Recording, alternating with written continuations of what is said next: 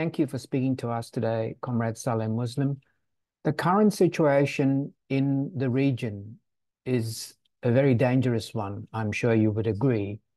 But what particular dangers does it pose for the Rojava revolution? What we are seeing in the Middle East is the Third World War. Uh, all the hegemonic powers and uh, and the others, and even uh, local powers are, I mean, um, they are in alert in the media, and they are uh, fighting each other also from time to time. So it's very dangerous situation, not only for us, for all the Middle East. And uh, nobody guess or what's going to uh, to happen because uh, there are many powers and many forces and uh, huge um, powers there in the area. So uh, we are we are also waiting, and we are uh, in the middle of this conflict as uh, as Syria, as the northeast of Syria. Uh, so we have to be very careful, and even for political relations and for the military sides and so. Actually, uh, the reality is that all these powers they are looking for their interest some of them them are looking for the the ways of the energies, I mean gas, petroleum, whatever it is, and even for the, uh, the material um, wealth in the in the area, and so whatever they are. Uh, but the problem for us is very different. We are looking for our being, I mean, our existence as the Kurdish people, as the, the people are, I mean, living in this area, we are trying to have at least, I mean, a quiet uh, land, quiet place without fighting. But of course, we cannot uh, say to the others, I mean, to stop uh, fighting or to uh, to to stop this struggle among them. So uh, we are waiting. What, all we can do, we have to uh, prepare ourselves, I mean, for any worse conditions and so on. And the Syrian conflict is um, more than about 13 years, is continuing till now without any solution. And um, uh, there is no solution because the local forces like Turkey and Iranians and the others they have their own plans and the international hegemonic um, powers, they have their different plans, uh, which is um, affecting each other. I mean, because of that, there is no solution. And mainly, uh, Turkey was uh, in the in the middle of this conflict.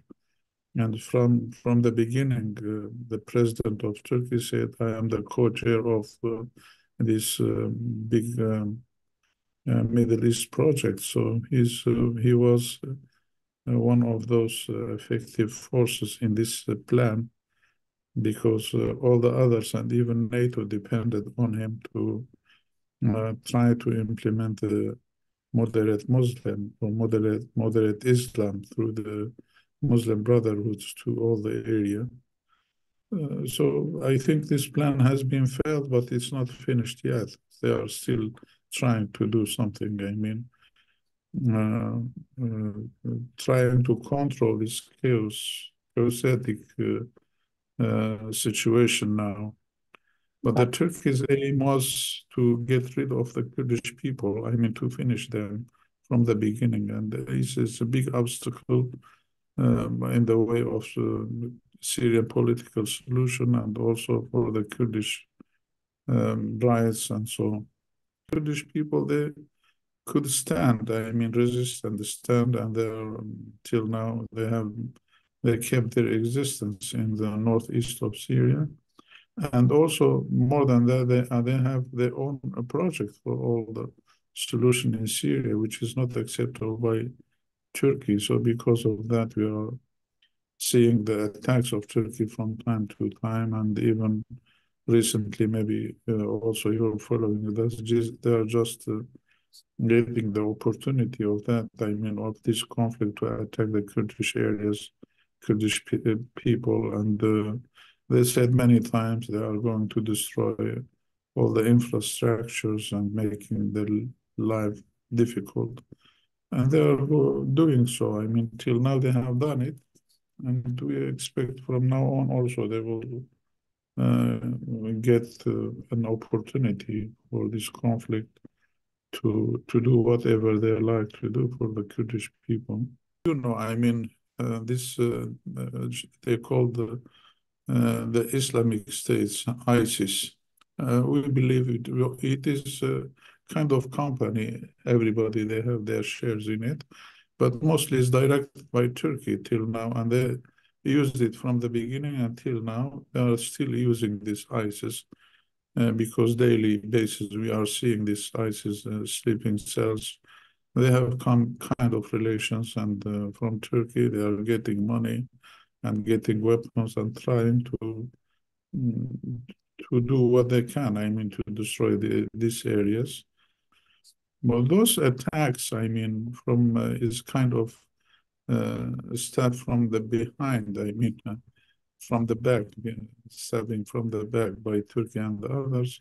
Of course, I mean, uh, doesn't make uh, uh, democratic Syria forces so effective, but they are trying, I mean. But when uh, the point is, when we have uh, organized ourselves, I mean, our people and uh, including those legitimate defense for ourselves in 2014, we found this international coalition. They said, hey, we can do it together, I mean, and we, we kind of um, beneficial for both sides.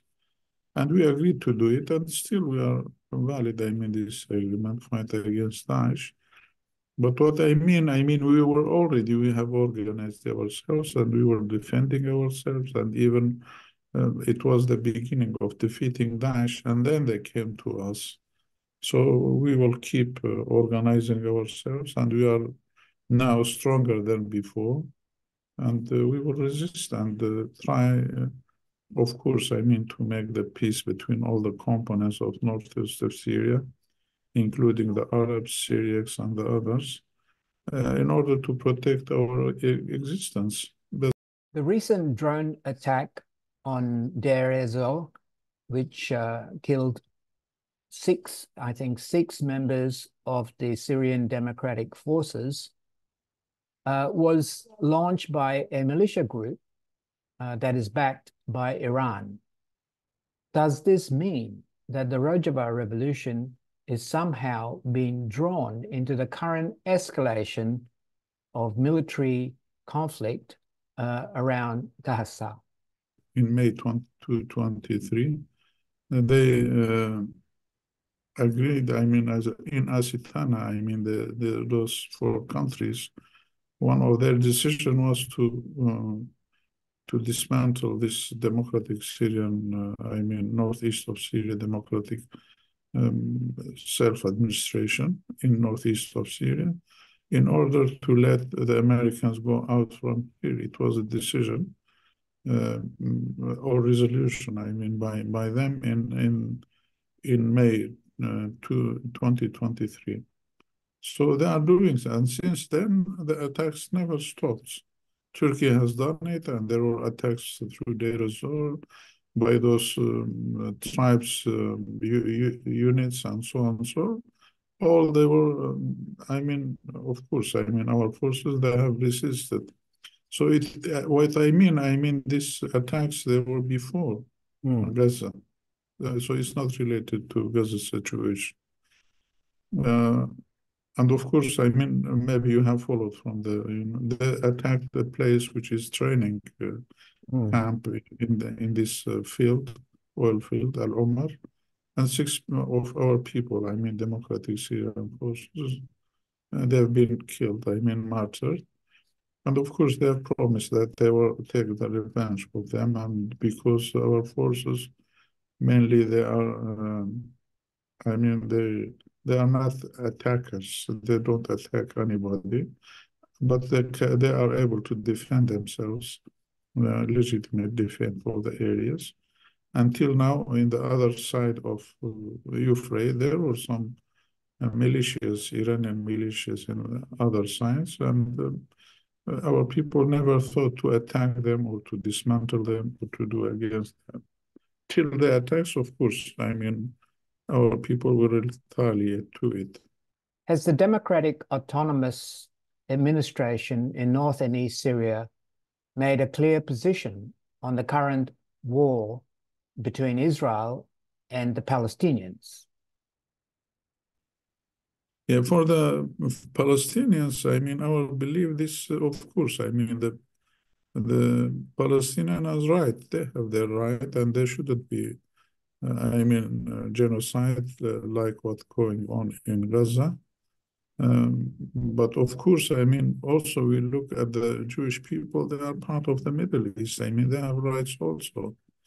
But this mentality by Al Hamas, which is uh, similar to Daesh mentality to eradicate the Jewish people, is not correct. I mean, uh, we consider that Hamas is not representing the Palestinian people. And also for the Jewish people, I mean, because they are trying to eradicate the Palestinians. I mean, Netanyahu mentality is also not the solution. They cannot bring the solution. The only way we consider is, uh, is similar to our project. I mean, uh, a democratic nation state which they can live together, or democratic nation says for both sides they can live together, which in peace and with a dialogue, not by, by fighting. But uh, this mentality by Hamas and Netanyahu is brings the uh, I mean, destroying all the, the people in the Middle East. I mean, the Palestinians and also the Jewish people. So it's not the right way. In the 1980s, Palestinian and Kurdish liberation fighters fought side by side against Israel's invasion of Lebanon. That was a moment when there was clear uh, solidarity between these two important national liberation struggles. Will these two struggles uh, once again be seen as working in solidarity with each other right throughout the region? Well, speak, of course. I mean, we respect, I mean, the, the Palestinians and their uh, uh, rights, I mean, democratic rights and so in 1980s, you are right. I mean, there were some Kurdish people that are joining. All of them, they are in the left uh, of Palestinians. I mean, all the organization that were struggling again, the, um, uh, Israel for democratic rights, for Palestinian rights, they were leftist. But now we are talking about Hamas. Because of that, I said is Hamas is not representing the, the Palestinians. You see, and uh, of course, I mean, still we are trying uh, to have relations with those uh, leftist uh, groups and um, uh, I mean, um, organizations of the Palestinians. Uh, but of course, they are weak. It's shame. I mean, it's a big loss for the Palestinian mm, to have Hamas representing them, which is, we, we cannot deal with them at all. I mean, because as I said, it's the same mentality with Daesh. They are all they are doing not the, the Palestinian rights. What mm. they are trying to do to establish the Islam, Islamic State or Islamic Caliphate, whatever it is. And this is their aim. So it's completely different situation, I mean, between 1980s and now. Now we are still, I mean, we support the, the Palestinian democratic rights for them, but not in the way of Hamas. While Israel has been waging its war in Gaza, uh, the Erdogan regime has been continuing its bombing raids of North and East Syria, uh, killing people and also destroying infrastructure. How serious is this problem? The aim of Turkey is to evacuate these places, to, to have these lands without the, the Kurdish people and even the components which they have slaughtered them in at the beginning of the 20th century, like Assyrians, uh, Armenians, and the others to, to get rid of them, to finish them. This is the aim of them. And of course, what they have done, is the war crime and even crimes against the humanity, and which uh, they are, I mean, Erdogan is saying for the Israelis, how they are attacking Gaza, but he is uh, doing the same for the Kurdish people, I mean, in our areas, but nobody is blaming them. so mm. it's a, it's a really, it's contradiction. I mean, how you blame uh, something for the the Israelis, which is right. I mean, it shouldn't be. And you are doing the same for the Kurdish people, and mm. everybody is silent. Of course, I mean, they have destroyed, I mean, all the infrastructures and, uh, and the oil facilities and the gas facilities and electrical uh, stations. And now the most of the areas are without electricity now and even without gas. And we have difficulties, I mean, in trying to import the the gas from Iraq or from some other places, and even the the diesel is it's a big problem for us. So in the this uh, what uh, we have now is the winters uh, winter I mean season. So we cannot get anything for fuel. I mean for heating heating the the houses, heating the places. So it's it's very difficult situation really. And as as you know, if there is no electricity, maybe the bakery cannot work, the other mm. cannot work. So we have very difficult situation. And this is what the Turkey wants to. Mm. Turkey is trying to, to, make their life very difficult for pe people to leave this area. In January, the autonomous administration in North and East Syria marked its 10th year of operation a new uh, social contract was adopted and a new name was adopted. Can you explain uh, the significance of this development? Well, there are two points. The first of all, I mean, uh, we consider the conflict happened in Syria is because of the the oldest regime, which is what was uh, uh, dictatorship and despotic regime and um, refusing any identity for the components of Syria and even for the Kurdish people, for Syriacs, for all the components. Only consider that Syrian is Arabic and the Ba'athist regime should um, do everything and they should control. So this was their mentality. And uh, the alternative for that was uh, the democratic nation, which all the people can live together and so on. So what the, what you know in the our democratic, uh, I mean, solution for Syria and for this one. This is first first point. I mean, we cannot implement the model which was destroyed Syria. It was a cause for destroying Syria. So we have to try another model to be convenient for everybody to live in peace, brotherness, this is one point. And the second point, when we uh, started, I mean, to struggle against regime, asking for our demands for democracy and peace for as all the Syrian people, of course, we were in, in the 19th of uh, uh, July, yeah, 19th of July 2012, we were able to, to liberate our areas from the regime. And then there was a, a kind of a, a, vacation. I mean, because you need the administration, you need to do something for those people. So we have established the administration, democratic self-administration. And this democratic self-administration wouldn't, I mean, we didn't like to be like before. So it was that. I mean, we were enforced to do something to, to fill this vacuum happened for for the um, to administer administer our uh, relations and to law. So this was the case. I mean, two points. One is we don't we wanted to return to the old regimes practice, and the second one, because there was a vacuum, we had to fill it.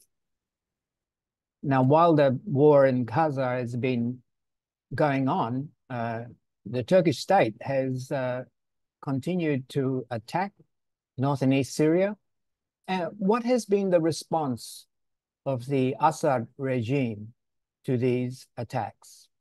Well, I think they were, I mean, struggling to protect themselves, I mean, from the attacks and by support of Russians and Iranians, and now they, they are not able to decide for themselves.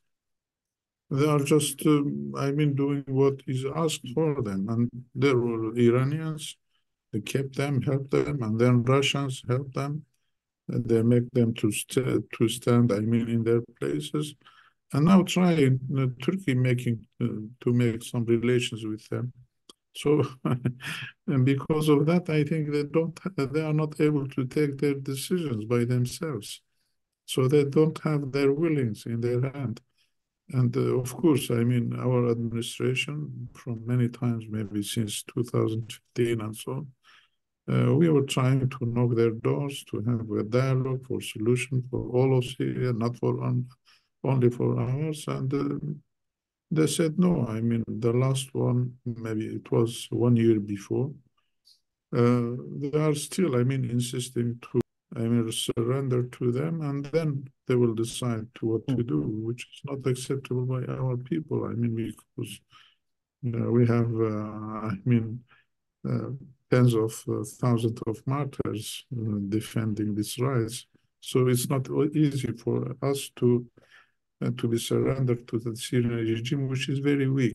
What we see, and sometimes we contact some people coming from their areas, is very difficult situation. In um, there is no um, stability, and they are, of course, economically they are very, very um, bad situation, and they cannot give. Uh, any uh, they don't have any budget or anything and uh, bribes and slaughtering um, people and so so it's, it's a, a very difficult situation. Of course i mean we have now about 1 million people which they have escaped from the other areas living in in our areas.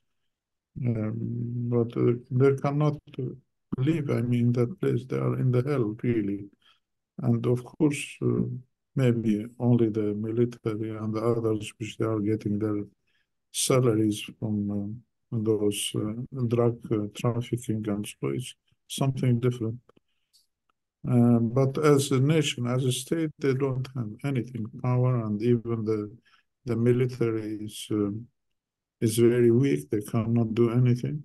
So it's a very bad situation. I mean, it could could not be compared with what what we have here.